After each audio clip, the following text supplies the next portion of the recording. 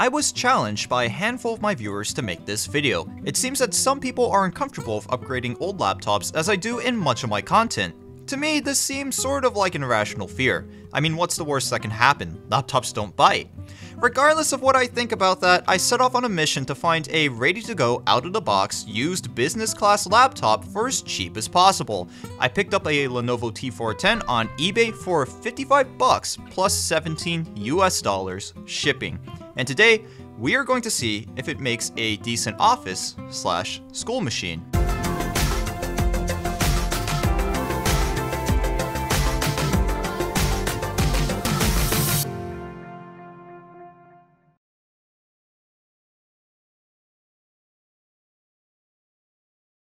So as some of you already know, I have worked with the T410 before. There is an eBay finds video and an upgrade video already posted to my channel, so if you want to see benchmarks and performance tests from a fully upgraded T410, the link will be down in the description. Now, because I've worked with it once before, I know that the T410 is an outstanding laptop. It's incredibly tough, has an impressive amount of I.O., the keyboard is amazing, and battery life is about 5 hours with a genuine 9-cell battery.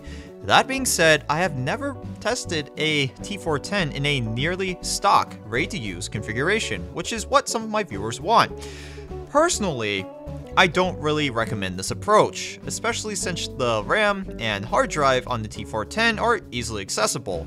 I would add a 120GB SSD and another 2GB of RAM in the system if I was actually going to use this. Um, for this video though, I will be testing it in the configuration it arrived in. This is one of the lower end configurations of the T410. That's not necessarily a bad thing, but it should give you a preconceived notion of the system specs. This T410 is equipped with an Intel M520 at 2.4 GHz that has 2 cores and 4 threads, 2GB of DDR3 RAM, Intel integrated graphics, a 1200 by 800 display, 160GB hard drive, 6-cell battery, and a copy of Windows 7 Pro. Additionally, the seller also included a genuine Lenovo power supply. Synthetics aren't really bringing anything surprising to the table. The primary bottleneck of the system teeters between the hard drive and the 2GB of RAM. Considering the fact that we are working with integrated video, 3D performance is okay. You can expect to be able to play some older games at medium settings, but newer titles will bring the system to its knees. Since I'm intending for this to purely be a school slash office machine, I'm not really too concerned with gaming performance. You really start to feel the squeeze caused by the spinning hard drive and lack of RAM when you start performing basic office tasks. Just a disclaimer, I might be a little biased here,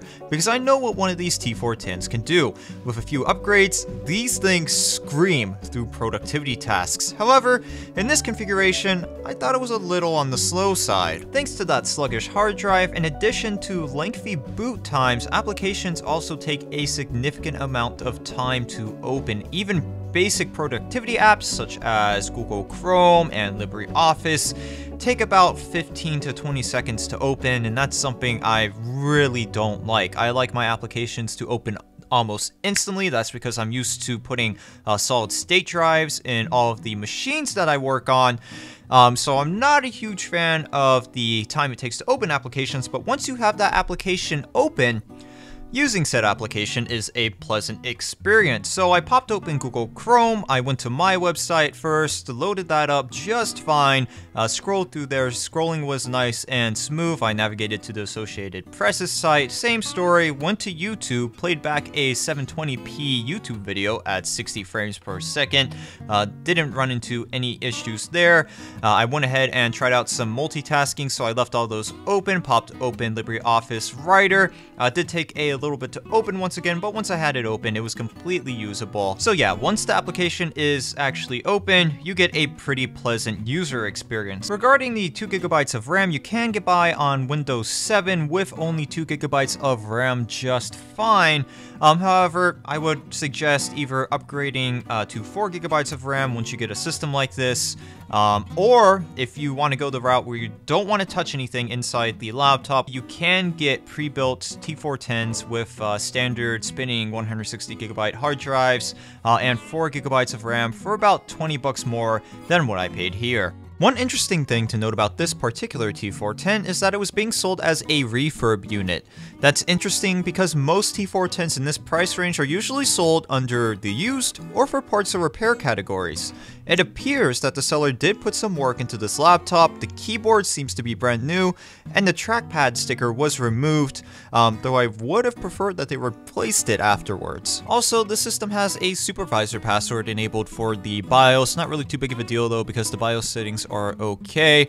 Uh, it's not really hindering the system's usability, and some people might say that, oh, you know, that's a sign that the system might be stolen, and sure, there's a very, very, very small chance of that, but chances are the seller bought this as an auction lot, the previous company slash organization uh, didn't unlock the BIOS, and that's where we're at now. Though I do consider this system to be usable as a daily driver in its current configuration, it could definitely benefit from a cheap SSD and 2 more gigabytes of RAM.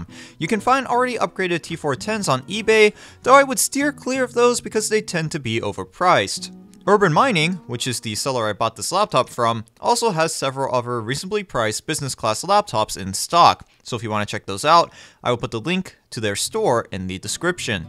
If you are looking for some budget-friendly SSDs to upgrade a laptop like this, I will put the links to some I have used in the past in the description as well. That's going to be about it for this video, guys. If you have any questions, comments, or concerns, you can go ahead and post a comment down in the comment section. Don't forget to drop a like on this video. If you didn't like this video, please tell me why. And of course, please do not forget to subscribe to the YouTube channel. If you want to support the channel, you can check out my Amazon or eBay affiliate links. You can also support the channel by checking out the Patreon page. And don't forget to drop a like on the Facebook page. Thanks for watching, guys and I will see you guys in the next installment of A Computers and Technology.